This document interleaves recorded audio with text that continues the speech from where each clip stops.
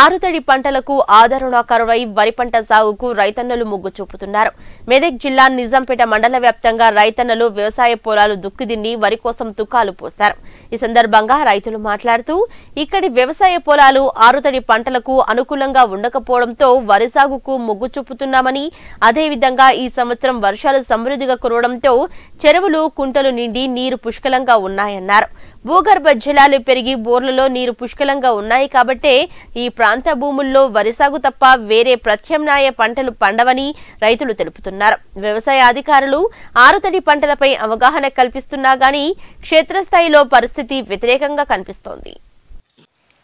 ఇప్పుడు ఆడితాడి పంటలు వేయాలంటే మాతో కాదు మొత్తం వాటర్ ఉన్నాయి.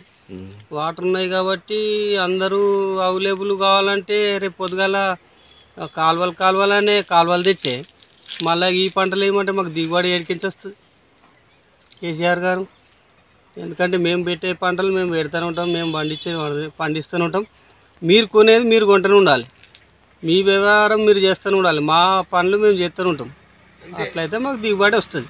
ఎందుకంటే మళ్ళీ మీరు పోయినసారి కూడా సన్నవారి పెట్టుకోమన్నారు. సన్నవారి పెట్టుకున్నాం. మాకు మాకు లాస్ వచ్చింది. మీ గవర్నమెంట్ ఏమైనా కట్టించారా మాకు? అట్లా. మాకేందంటే పక్క పంట మొత్తం అంతా జాలే వస్తుంది. జాలి వస్తుంది కాబట్టి మేము వేరే పంట వేసుకోలేము కదా. అందుకనే ఇక వరేద్దామని అనుకుంటున్నాం. అట్లా ఇక మీరు వేరే పంటలు పండియాలంటే మాకు చెరువు కింద ఉంటుంది చెరువు లేకుంటేనేమో అది వేరు.